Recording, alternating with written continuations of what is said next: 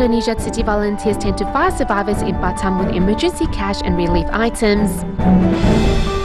We look back to the history of rabies and why the recent cases has Taiwan's government worried.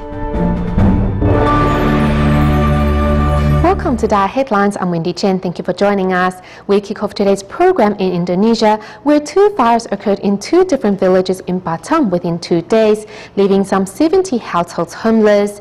Upon learning of the news, Tzu Chi volunteers carried out a disaster survey and held a relief distribution which included emergency cash, baby formula, and daily necessities for fire survivors. The blackened walls are all that's left from the fire that destroyed two villages in Batam, Indonesia. In two days' time, two fires left 71 households without a place to call home. The fire happened at night and it spread quickly. In about five minutes, everything was destroyed. There was no time to rescue anything. Of course, I'm very sad. My house is gone, but I have come to accept it. In the wake of the fire, Batam's government social welfare department made arrangements for survivors to stay in temporary shelters. But as everything was destroyed in the fire, Tzu Chi volunteers hurried to conduct a relief distribution. Saat kita survei lokasi, kita dikasih tahu Soon these residents will be celebrating Idul Fitr, so we prepare some emergency cash, a few daily necessities like children's formula, clothes and stationery, so they can celebrate the holiday properly. Sebentar lagi diorang mereka mau lebaran santunan. Tzu Chi volunteers not only distributed emergency cash, but also a pail and other daily necessities. Not forgetting the children, volunteers also prepared backpacks and stationery for school. I'm grateful to have gotten help from Tzu Chi. warga yang lain gitu. I'm happy to have received assistance. I like these relief supplies. The other survivors are glad too. The items distributed by the Chi Foundation helps these residents out a lot. Although the fire left nothing for the residents to salvage, however, Chi volunteers' love and care is enough to accompany survivors in the upcoming Eid al-Fitr. A part of the summer program Chi Batu Pahat Academy in Malaysia organized for its students is to visit the senior residents at a local nursing home and also the home of its Tzu care recipients. Through the experience, the youngsters all realize their blessings and learn to share a little of their love to those in greater need. Students of the Chi Batu Pahat Academy mindfully feed congee to senior residents of a local nursing home. 嗯，资助，资助那个，困难家庭，有因为吗？什么困难？呃，填了吗？是啊，嗯，谢谢小 S，记得吗？The children can learn to care for senior residents, and if they have elderly people at home, they will realize that we all age. It will help them learn to be respectful and grateful. Though at an unfamiliar environment, Students do not shy away from interacting with the elderly people by giving them massage and nail trimming services. Grandma, you can do a good deed each day. You put 50 cents in here every day and make a good vow and pray for good health.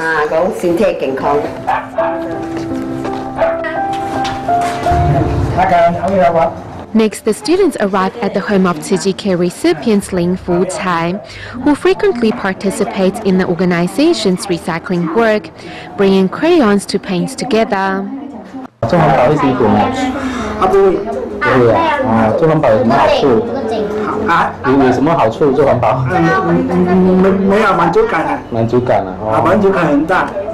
Seeing the less fortunate inspires these students to cherish what they have and pass on the love to those in greater need. Every year, more than 55,000 people die from rabies around the globe, and the virus has also caused 782 deaths in Taiwan some five decades ago. In our next report, we meet Hualien City Hospital Emergency Room Director Chen Li Guang, who is one of the few doctors that has had to deal with rabies here in Taiwan. Around the globe, one person dies from rabies every 10 minutes. Rabies is a disease that has existed for 4,000 years and has occurred in more than 150 countries. According to the World Health Organization, there are only few countries that are rabies-free.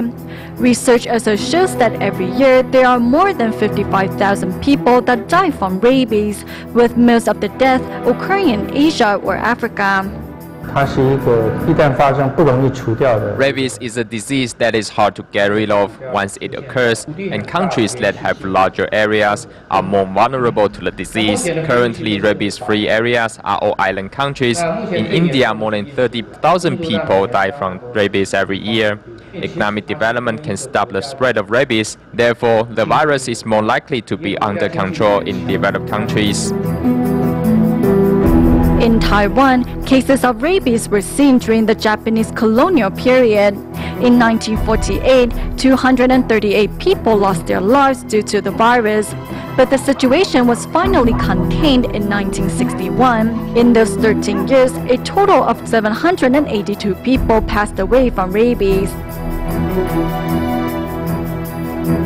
因为当初它是狗型，那狗是一 Back then, the disease broke out in dogs. Dogs rely on humans to survive, so household dogs were required to get a vaccine, and stray dogs were killed. 全部抓来扑杀。 In June of 2002, a woman from Hunan, China was found to be infected by rabies in Taiwan after she was bitten by a dog back in China two to three months prior to her visit. The woman was rushed to the Hualien City Hospital for treatment. 教授说口水，可是从来就没有告诉我们是口水是什么样子。 The patient had hydrophobia. I still remember our nurses tried to provide her with water. Because we saw that her mouth was really dry, she wanted to drink, but by the time she took the glass of water to her mouth, she had already turned her head away. 喝的时候呢，一接近的时候，它反而是这个 头一歪闪开。 Unfortunately, after more than 10 days of treatment in the intensive care unit, the patient still passed away due to severe damage to her central nervous system, which led to organ failure. 狂犬病的病 When a patient develops a fear of water and wind, it is an indication that the rabies has already damaged the brain. According to studies, at that time antibodies or other medicine will no longer work. Other than two imported rabies cases in 2012 and 2013, Taiwan has been free of rabies for the past 50 years. However, the island country lost its rabies-free status in July 2013. Rabies is a disease that can infect all mammals and one that has a 99.9% fatality rate. The virus travels through the nervous system and can stay within a person's body without symptoms from 7 days to more than 7 years. Therefore, it is hard to predict if a person is infected or not. When the immune cells want to fight against the virus, the disease will travel through the nervous system to the patient's brain, and soon after, symptoms of rabies will start to appear. When the virus spreads to the whole body, it will mainly affect the salivary glands, which causes those affected by the virus to attack and bite others, so they can spread the disease further. However, rabies is also a disease that can be prevented. Every year, there are at least 15 million people that are treated after exposure to rabies. Starting in 2007, with the coordination by the Global Alliance for Rabies Control, September 28th of every year is recognized as World Rabies Day as a way to raise awareness and stop the further spread of rabies around the globe. In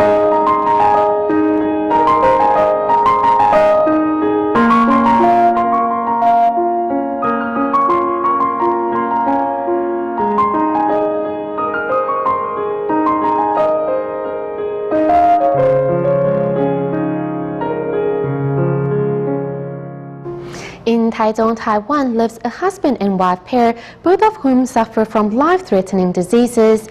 Facing the pain and inconvenience of their respective illnesses, instead of supporting each other through this difficult time, they grew further apart. Fortunately, Chi came into their lives, bringing the couple together once again through love, wisdom, and the power of recycling.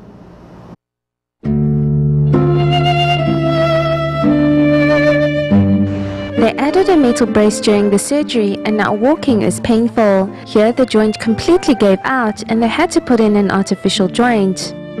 Not only is walking laborious, but with a bad heart, Huang never knows if the next breath will be her last. Uh, Sometimes I get so out of breath that I can barely breathe. The doctors had a surgery to clear out my arteries. One day I came home and saw that she was having a heart attack, so I quickly got her to Rengai Hospital. Although she survived that heart attack, Huang continues to be plagued by illness. I have to take a lot of medicine for my heart, my headaches, the gas that I have in my stomach, and so on. Besides Mrs. Huang's pile of medicine is her husband's. This is for diabetes, this is for my blocked arteries. Huang's husband once suffered from blocked arteries, which worsened his oral cancer. I underwent chemo and laser therapy for half a year.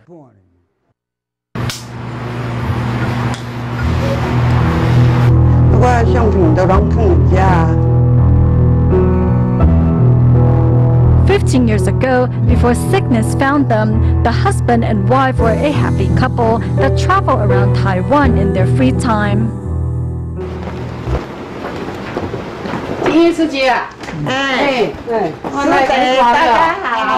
However, as their respective illnesses took their toll, the couple slowly drifted apart.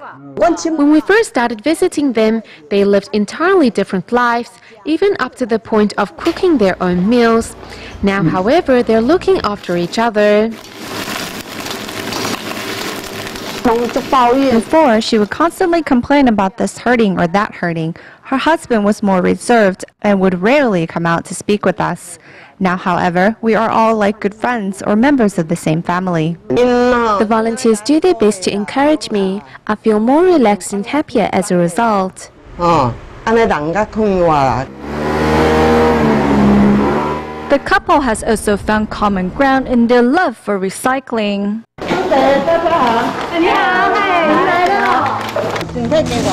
My health is much better now. As well, I am much more focused. Sweating, I feel more relaxed afterwards. Now the couple that was once drifting apart is firmly together again. It feels that we have a much better understanding among ourselves. As a couple, we are much happier. Thanks to Tzu Chi, two hearts shall never meet has become two hearts beat as one. In continuing on our report on media volunteers, we meet 69-year-old Wu Jiabo, a photography volunteer, and Lin Yingxing, a transcript volunteer. Both are devoted to recording Chi's work and have found a sense of accomplishment and happiness through their participation in a Buddhist NGO.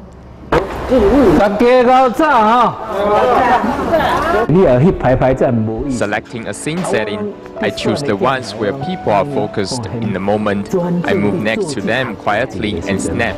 I take my shot.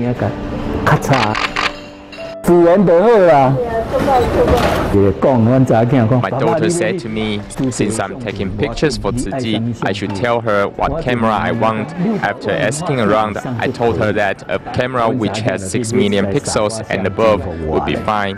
Then my daughter bought me a point and shoot camera. One day, Sister Yi told me that my pictures were good, just that the content was not so clear. Since we have taken it upon ourselves to carry out Chi's missions, we have to know how to use the computer, so I took some lessons. These are the photos I took a few days ago. I worked on it as soon as I got home. My son bought me an electronic writing pad.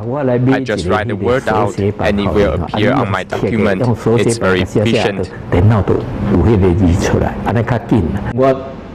The way I bring people and volunteers together is through photographs. When I give it to them as a memorabilia, they feel so happy. It's because we value our media volunteers. I keep the good pictures and I will rename the file names so that one day when I need them, I can access them 需要 easily. 用到的时候，我们相片马上一找，大概就有他们的相片。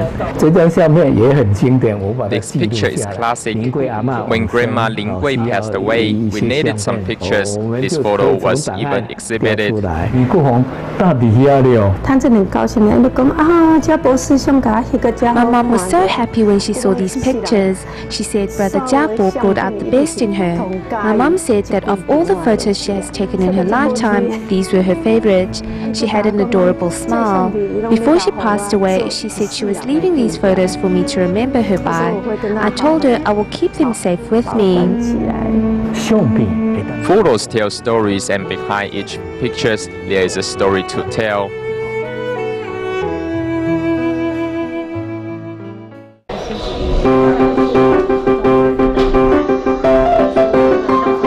师兄拍他的特写，然后那个师姐也帮我抓一下他几个特写，或是跟跟他出班 Those that are on a task with her often tell me that it's very stressful to work with her as she is demanding, but she's just to the point and efficient, which makes people feel some pressure when working with her.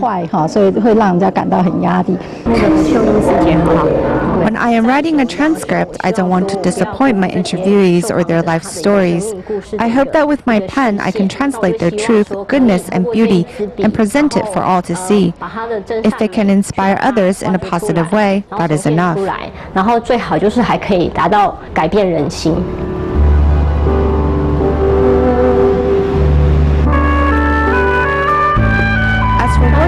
Part of the media team, it's a mission which requires us media volunteers to be the first to come and the last to leave. Sometimes it's working behind the scenes, and the challenge is that you have to overcome solitude and learn to enjoy loneliness.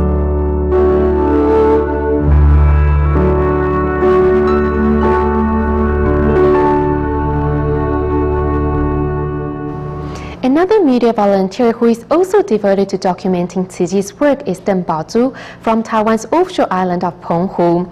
Over the years, Deng has done her best to spread Tzu ideals in the region and also improve her skills to become a dedicated media volunteer. Here's her story.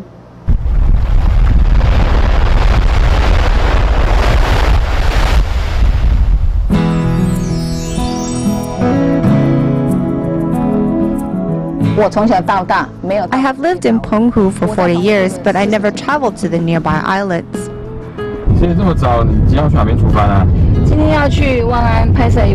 Today, I will be going to Wang'an Township to interview a recycling volunteer. We have to take a boat to get there. Here at the Penghu archipelago, as the sky gradually turns bright, media volunteer Deng Baozhu gets ready to start one of her busy days. 你你一个人拿拿这么东西，会不会觉得很辛苦啊？扛个摄影机什么的。当然会很辛苦啊。 Of course, it's heavy, but here we are constantly short-handed. There are only a few media volunteers, so I have to do as much as I can. In this offshore archipelago, Deng Baozhu is one of the few media volunteers and thus also a role model for all other volunteers across the islands.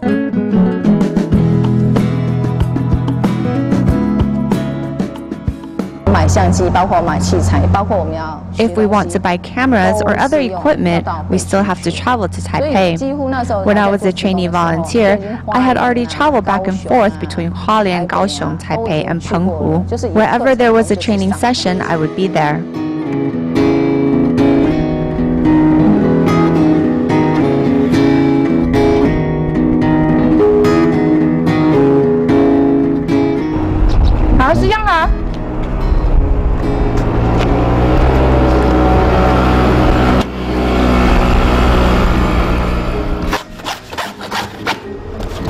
做环保做几年了？我从八十几年就开始做，做就对了啦。我们在澎湖这个地方，just do it. There are only a few media volunteers here in Penghu. When the schedule of the Tzu Chi events comes out, I have to list my priority events to film. I am so eager to chronicle all the events and spread all those beautiful moments to more people. But that's not possible because we are human beings, not machines.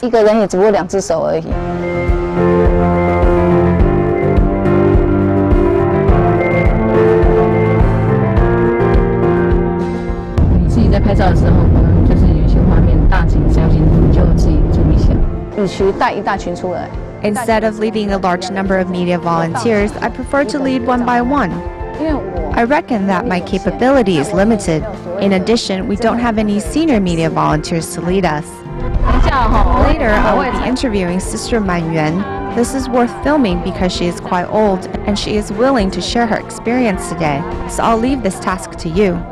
I'm not a quick-witted person, therefore it's best to have the senior sister leading us as we improve our skills. Promoting Chi's humanistic spirit is the sacred task that media volunteers take to heart. Bringing Chi's philosophy into their life, they enjoy a long career with a heart full of Dharma joy.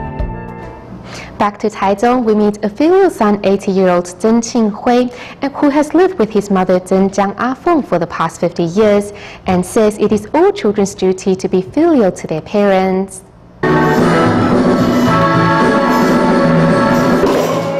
During the weekend, a group of seniors get together to make a little music and do a little exercise.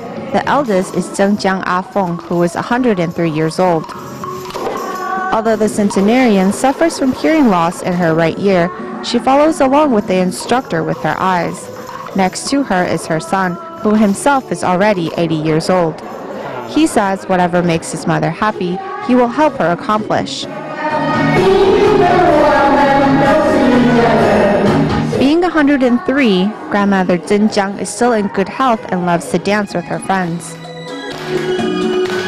满意，真满意啦。 这个。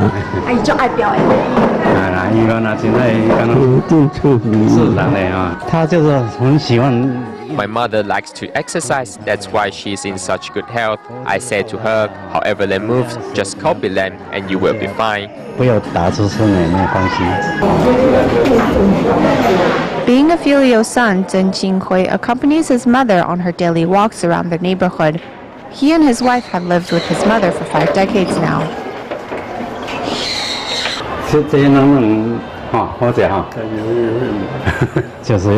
we have to reciprocate our love. She gave birth to me, took care of me, so now I need to take care of her. Mr. Zheng continues to take care of his mother's everyday needs.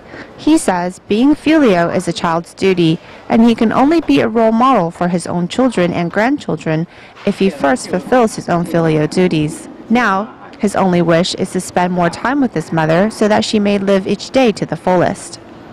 Staying in Taichung in Dali, as Tzu Chi has taken the Li siblings whose parents are divorced under its wing, volunteers recently arrived to help the trio move house. Let's take a look. Household appliances, refrigerator, a washing machine and the rest of the heavy items get loaded onto the truck first. Tzu volunteers work in sync to help the Li siblings who are Tzu care recipients move house. The eldest sister is 20 years old, followed by their 18-year-old brother, while the younger sister is currently in elementary school. With their parents not around and the eldest sister only recently starting to work, the family is in need of financial help. We did think of getting a removal company to help us move, but it costs 3,000 to 4,000 new Taiwanese dollars, so I'm truly thankful that you are helping us move on the weekend. A group of volunteers have been mobilized to assist as they see these kids as their own. The eldest is only 20 and she still has to look after her younger brother and sister. I think she's incredibly strong and I'm moved by her tenacity. Chi volunteers love and care for these three siblings will accompany them in the days ahead. In Malaysia, as the students of Chi College of Technology from Hualien, Taiwan are currently on an overseas exchange trip, they arrive at the Kadajing Hall to put on a children's play for kindergarteners. We'll leave you with these images. Thank you for tuning in. Goodbye.